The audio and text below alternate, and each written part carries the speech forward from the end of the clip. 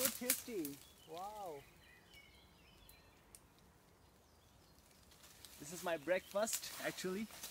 I'm in the jungle today in the Ilmenau. But this, this jungle has not much to eat, only some Johannisbeeren. Yeah, you can see. It's really tasty. Mm. Nice, delicious breakfast.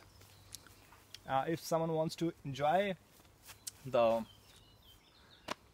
natural life in Ilmenau, it's it's very easy. Just opposite of the campus, you have a big mountain and a huge forest. You can come here and you can spend some time here.